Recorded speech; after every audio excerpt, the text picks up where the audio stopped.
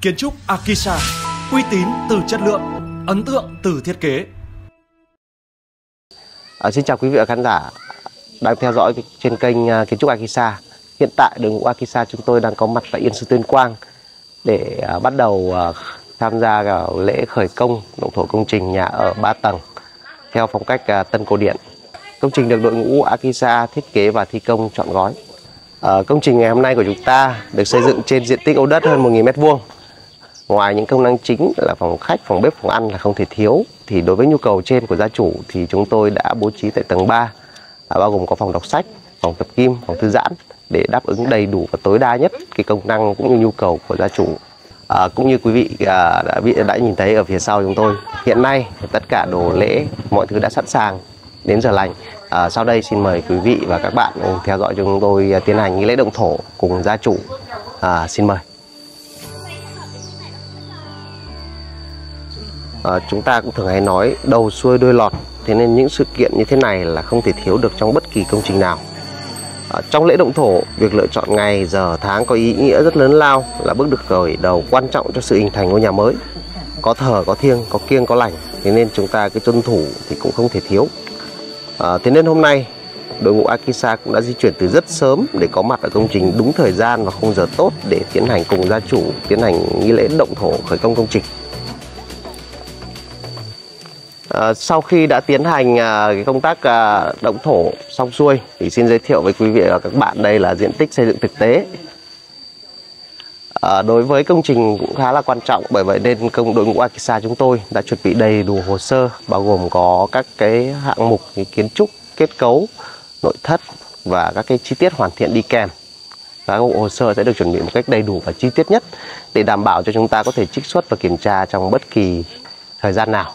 À, đối với công trình này thì à, đội ngũ trong quá trình khảo sát thì à, đội ngũ Akisa chúng tôi đã quyết định sử dụng phương án móng cọc.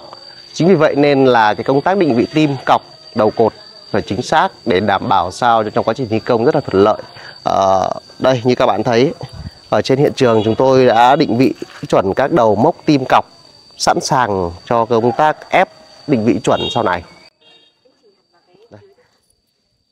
Đây. À, các tim cọc được đánh dấu rất là rõ ràng để mọi người đều có thể kiểm tra và đối chiếu một cách thuận lợi nhất.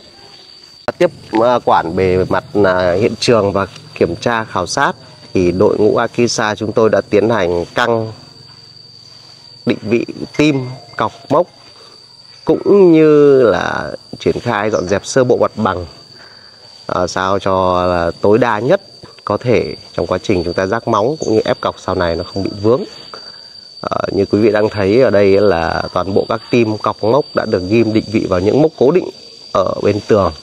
Những mốc này sau khi đã định vị được phần cọc thì chúng tôi sẽ thực hiện công tác là gửi mốc, gửi tim để làm sao trong quá trình thi công chúng ta không bị thất lạc cũng như là bị sai sót. Với quy mô và diện tích xây dựng như công trình này thì với đội ngũ Akisa dự kiến sẽ thi công phần thô trong vòng từ 3 đến 4 tháng và phần hoàn thiện nội thất bên trong cũng tương tự như vậy nó sẽ khoảng 3 đến 4 tháng.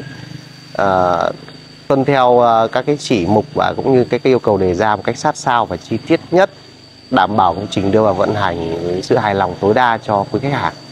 Đối với tất cả các công trình Akisa thiết kế và thi công trọn gói thì đội ngũ kiến trúc sư, kỹ sư và giám sát của chúng tôi sẽ theo sát công trình ờ, uh, 24 trên 24 từ đầu đến cuối công trình để đảm bảo cho tất cả công tác được triển khai một cách chính xác nhất theo như bản vẽ đề ra cũng như nhu cầu của gia chủ và đáp ứng phản ứng tối đa đối với tất cả các trường hợp nếu xảy ra điều chỉnh, sửa chữa hoặc là xử lý công năng tại hiện trường.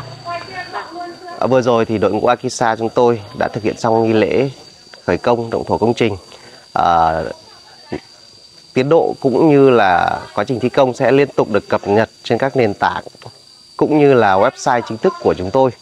À, nếu quý vị và các bạn có nhu cầu về thiết kế thi công nhà ở thì hãy liên hệ với chúng tôi qua số điện thoại để được phục vụ à, một cách à, chú đáo và nhiệt tình nhất. Xin cảm ơn quý vị và các bạn.